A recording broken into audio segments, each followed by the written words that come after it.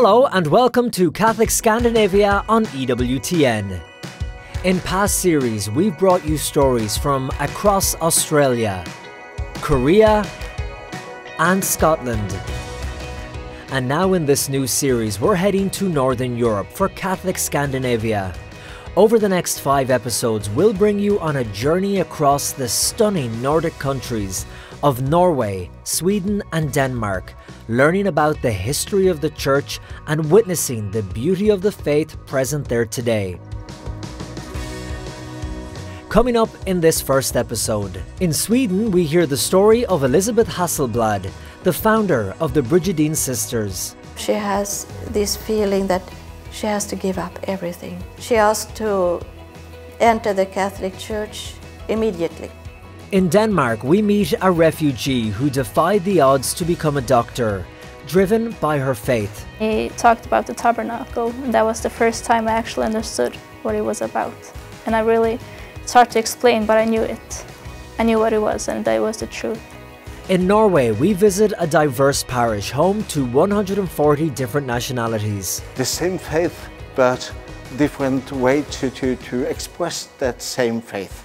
And we meet some members of Norway's largest Catholic youth organization. The Catholic religion gives them order, it gives them meaning, uh, it gives them knowledge. This is Catholic Scandinavia on EWTN. But first, we're starting on the western coast of Norway, where there is a small village of Selja. Here you see small wooden huts locals would shelter their boats in while attending church. And just one kilometre less than a mile off the shore is the birthplace of Christianity in Norway. This is the place where the Catholic Church was born in Norway, so it is truly a sacred space. And people have been experiencing this for a thousand years. When you get out here, you have a feeling, a very special feeling. You feel uh, the, the power or the strength from the bygone uh, days. There is something out there which you can't explain. But this is a place where there is only a thin veil between heaven and earth.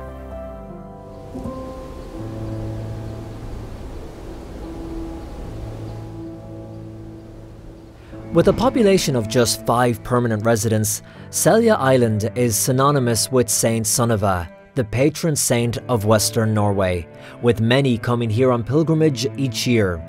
Ragnhild Hun is a Catholic writer and publisher, and she lives part time on the island. There is only a few Catholics coming here because we have very few Catholics in Norway. So most of the people coming here are Protestants or non-believers. And what we see is that this place does something special to them.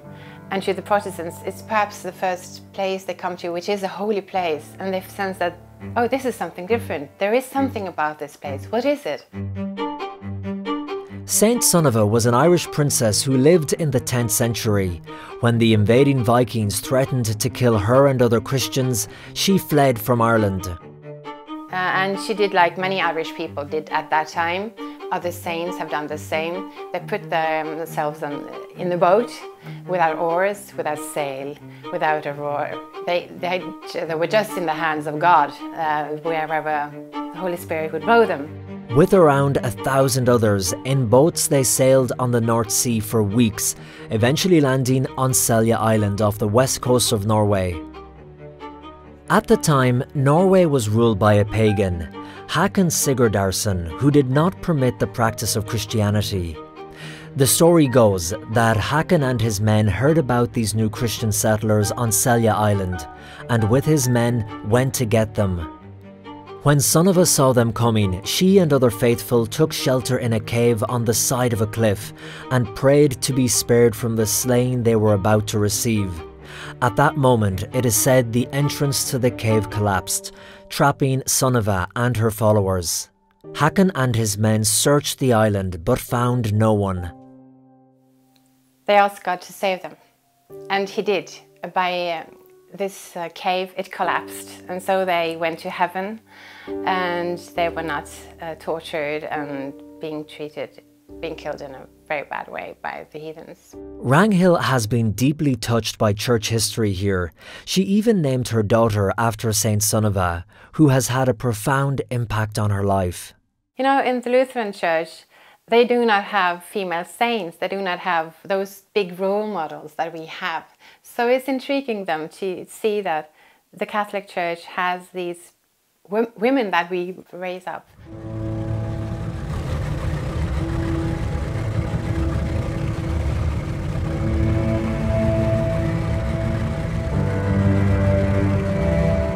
On the other side of the island are the 900 year old ruins of the country's first monastery, and although the island is small, the easiest way to get to the other side is by boat.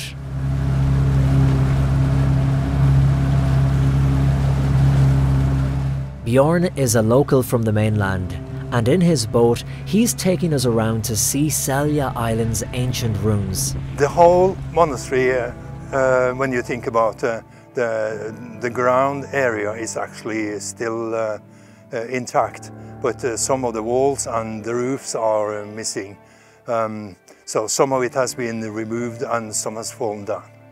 The monastery you see here was built by Benedictine monks in the early 1100s in memory of Saint Sunniva.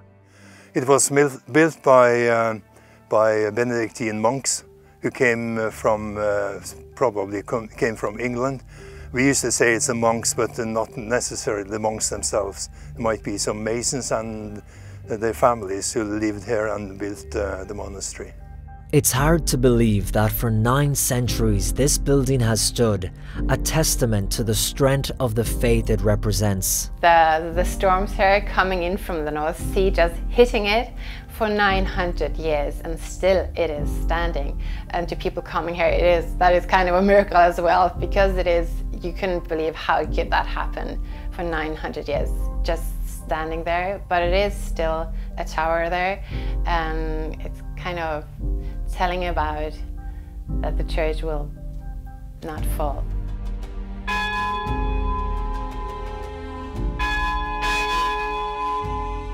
Selja Abbey was a thriving and important centre for the Catholic faith. Such a strong foothold, it survived a disastrous fire in 1305 and the devastating Black Plague of 1350. But in 1537, the deadly Reformation brought an end to monastic life on Selja Island. But the community here is hoping and praying that Benedictine monks will someday return and claim ownership of the monastery that helped play such a pivotal role for the Catholic faith in Norway. And the mayor of Selja has even written a letter asking them please to come. So this is a place that welcomes the new, a new monastery that Benedictines returns. They have missed them for centuries. Today, Selja Island has experienced a revival as a place of pilgrimage and a treasured Catholic cultural monument. New generations of Norwegians are rediscovering and reconnecting with the rich Christian heritage of their country with six to 7,000 visitors each year. Uh, think a little bit about our history, the christening, and uh, before and after uh, St. Olaf and the christening of Western Norway and um, what effect that has had on, uh, on uh, the Nordic and the Norwegian society.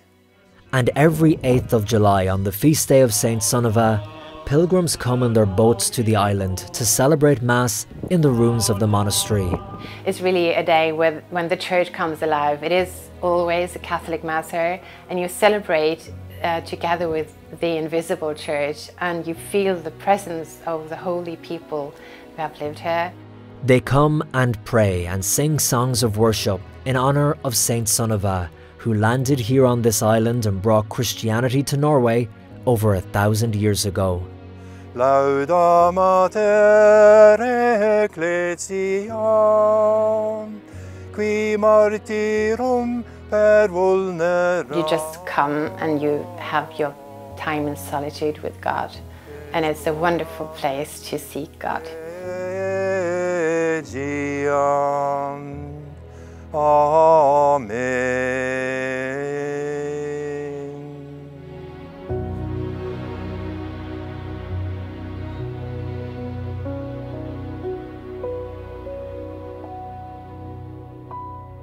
You're watching Catholic Scandinavia on EWTN. Next, we're heading to Sweden to learn about the Brigidine Sisters and their founder Elizabeth Hesselblad. The Order of the Most Holy Saviour of St. Bridget, otherwise known as the Brigitines, traces its roots all the way back to the early 1300s when Bridget of Sweden created the monastic rule for Brigidine sisters. These rules guide people who are searching for God in a religious community. It would be years later that a Swedish woman named Elisabeth Hesselblad, born Lutheran, would go on to reform the Order of St. Bridget. Here, situated about 10 kilometres northeast of Stockholm, is Djursholm Convent, where Sister Beata is a Brigidine sister, faithfully living out the mission of their order. To glorify God with the the, the prayers. That is the first task. And then with the guest house, to welcome people of all, all beliefs, to make them feel at home. The convent is also a guest house and was founded by Mother Elizabeth, now Saint Elizabeth Hesselblad, in 1923, when it was not permitted to have convents in Sweden. So she would not say she was establishing a convent, and instead she had to call it a resting house.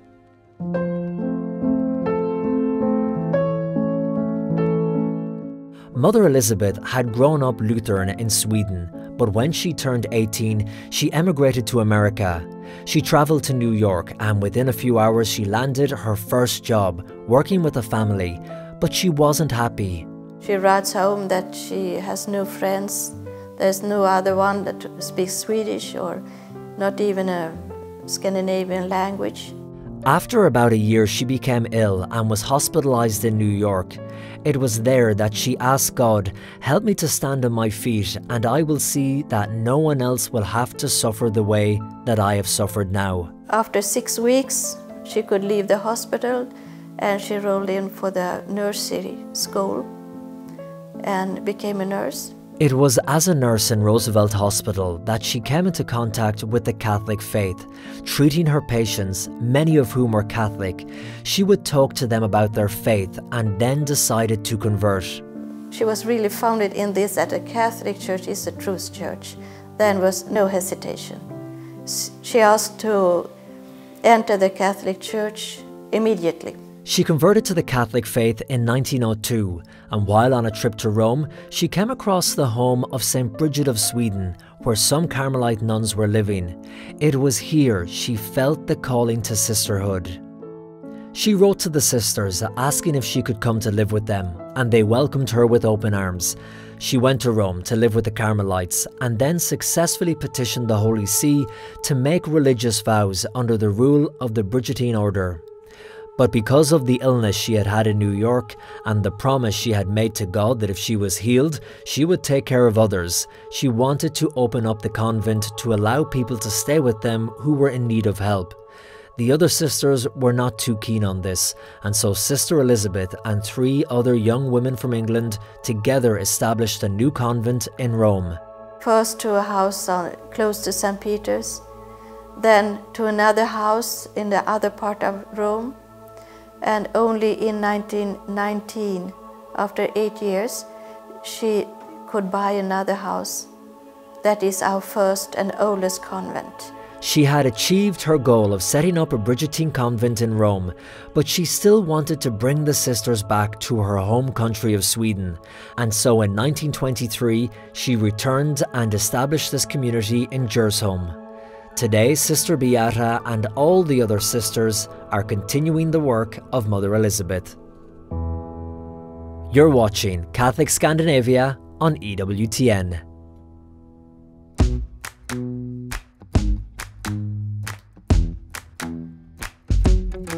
With you, the sun is shining 24 7. It can, of course, be very difficult for young people to hold on to their faith in an increasingly secular world. In Norway, the National Catholic Youth Organisation, NUK, promotes events for young Catholics across the country. Stephen Trotter is the Secretary General. NUK was founded on Pentecost 1947, so 25th of May 1947, which uh, means it's about 72 years old this year. The aim of NUK is simple bring young Catholics together so they can help each other stay strong in their faith. A lot of central activities that sort of brought them together in one place and gave them an opportunity to meet other young Catholics and uh, give them that refill that they needed to keep the faith with them in their everyday life. They have different groups within NUK youth groups with many social activities, and student groups with more faith focused meetings. The student groups usually get together for a bit more mature activities, sort of in terms of like having theological discussions or debates or lectures or guest lectures and stuff like that. NUK also organises summer camps, which are just like any other summer camps, but with morning prayers and daily mass. And these camps follow the same format usually in terms of morning prayers, breakfasts, bit of catechesis, bit of fun activities and socialising. We also provide leadership training, so youth leadership training and that is to help these young adults and 15 to 18 year olds develop uh, their faith and to grow in it and mature in it and to give them a better starting point for then spreading it. Each Sunday after Mass, these young people meet up on the steps of the church. Alessandro Vidanis is 17 and very active in the NUK youth groups. I think that young people, especially my age, um, are looking for meaning in their lives. The Catholic religion gives them order, it gives them meaning, uh, it gives them knowledge uh, on how to live your life and how to tackle all the problems that our existence kind of uh, throws at us. Miriam Doherty and Aoife Ong are both students from the University of Glasgow in Scotland and are here volunteering with Caritas. For me, it's been absolutely wonderful, you know, very inspirational to see these young people here. It's nice to know as well that I'm not the only one in the entire world. You know, people in Norway are doing it, people back in Malaysia are doing it, people in Scotland are doing it. And I think it's good for them to see as well that two girls from Scotland came over and are also seeking out the will of God and it just puts so, so much perspective on the universality of the Catholic Church. There's so many volunteers that are very involved and are giving up a lot of their free time to catechize the younger children, to participate in the Mass through altar serving and through other devotions. I've been traveling around quite a lot actually over the summer. I've been to Korea, I've been to Uganda, and it seems that the youth are really on fire, you know, and you can really see them longing for the truth um, longing for orthodoxy, longing for the church's teachings. You know, so many people and the whole world is actually telling us that, you know, the Catholic Church is becoming irrelevant and it's dying out. But there's so many youth worldwide who really do care about the Catholic Church. When the truth is shown without hesitation, young people really do respond to it and they can see for themselves that this is what is true and this is where they belong. This is Catholic Scandinavia on EWTN. In the city of Bergen, St. Paul's is a large parish of 20,000 members, and each Sunday they have as many as seven to eight masses. But what makes this parish special is its diverse congregation, made up of over 140 different nationalities. My name is Sister Goretti. My name is Sister Teresa. We are, we are from, from Vietnam. Vietnam. My name is Toril. I'm from Norway. I came from Hungary. From Vietnam. From Norway. From the Philippines. Eritrea. I'm from the United States. From Italy. From Vietnam. From the Philippines. Mabuhay. This is truly a global parish with members from all over the world and one of the many priests serving here is Father Eric Andreas Holt. Usual Sunday we have seven to eight masses in different uh, languages. Two Norwegian masses, two Polish masses, and the other masses in different nationalities. Catholics around the world have many different ways of expressing their faith, and here at St. Paul's you get a unique opportunity to see the whole world's church in one place. It's been very nice for me as a former Lutheran to, to, to, to look at the, the, the diversity within this congregation. The same faith, but different way to, to, to express that same faith. Father Eric was married when in the Lutheran Church, so when he converted to Catholicism and wanted to become a priest, he faced a unique challenge. There are only four other married priests in the entire country. Father Eric wrote to the Pope to seek approval and eventually got permission to become a priest. I had to go uh, to Austria twice because they were a little afraid in, in the Holy See of too many married priests within a country with rather few Catholics. In 2016, I was allowed to, to proceed my, my service as a priest. When Father Eric converted from the Lutheran Church to the Catholic Church, he said that he found a home and felt that he had found the truth. I hope that the younger people in our congregation will grow up in the faith, to express their faith and live their faith.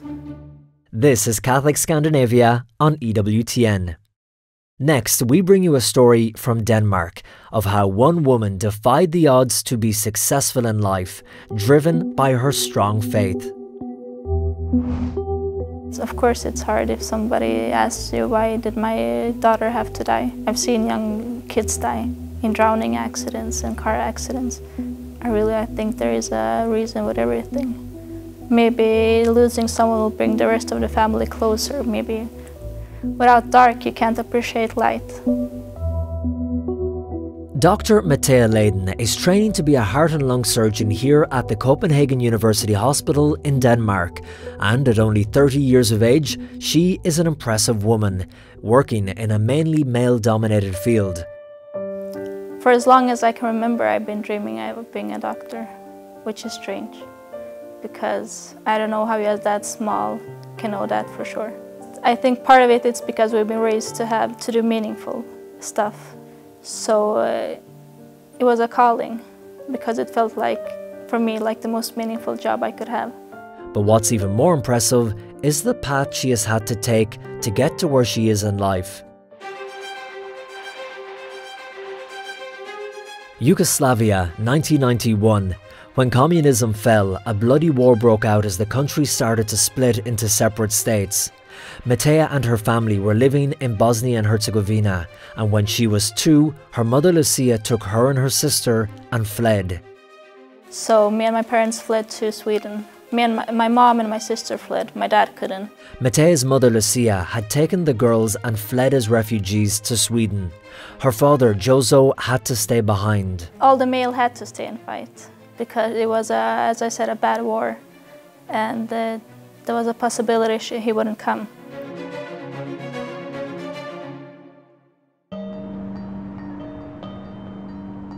As war refugees now living in Malmo, Sweden, Mathea and her sister and their mother grew up in one of the worst neighborhoods in the country.